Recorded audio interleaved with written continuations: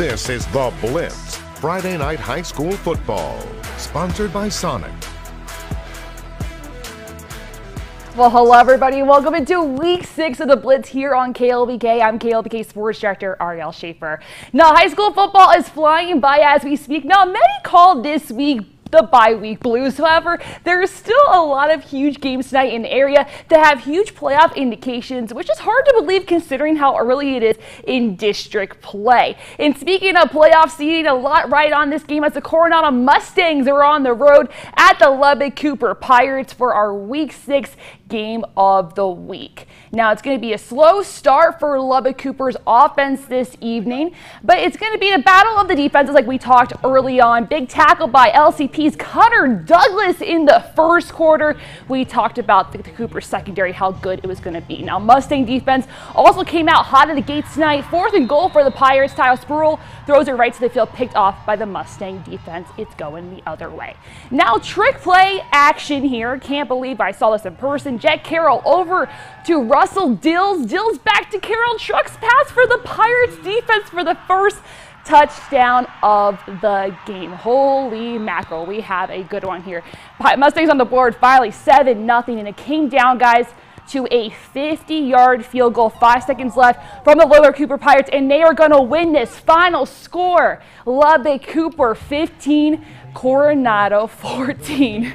And what an exciting game. I can't believe what a score like that. If we're not going to take it over live to Pirate Stadium, as KLBK sports reporter Lauren Cottrell is there live with Chip Darden. Lauren, how was the game?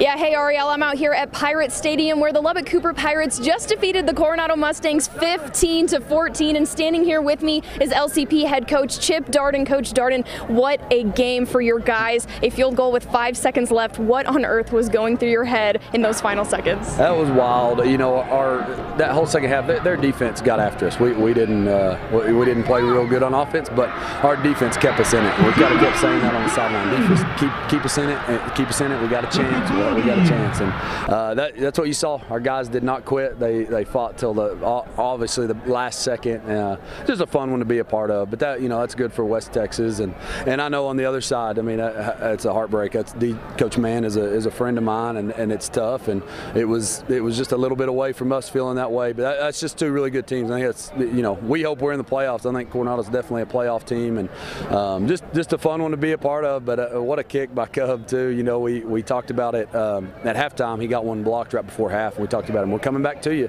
We're going to come right back to you, and you're ready. So big kick. And you bring up those halftime conversations. You know, you guys were down going into the half, never seeing the end zone quite yet. What were those other conversations looking like, not just with the kicker, but with the whole team in general? Yeah, and, and uh, you know, kind of said the offense didn't play great, but I thought they had a really big drive right there with about six minutes left to get it in. Um, but yeah, you know, we, we, weren't. There wasn't a whole lot of yelling and screaming. We just they were kind of getting after us, and it's just one of those games. It's a physical game, and they're they're a really good team, and um, that, that's just that's how it goes sometimes. This district's going to be probably just like that every single night, and uh, we just got to. Uh, what we've said all along is stay in the stay in the mix and, and, be in it at the end, and that's what we did tonight.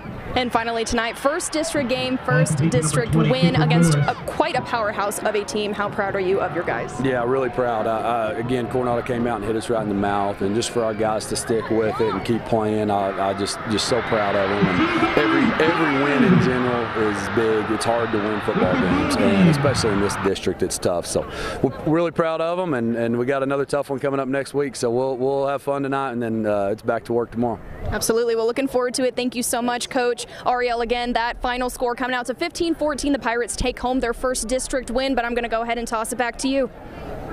Thanks so much, Lauren. Wow, what a memorable game for the Lubbock Cooper Pirates. So don't go anywhere, guys, because second quarter of the Blitz is still yet to come, and we have our KLBK Spirit Squad of the Week featuring the Estacado Matador Cheer Squad. Hey there, ladies. It was the same atmosphere for them tonight. We'll have the highlights coming up next the, after the break. Stay with us.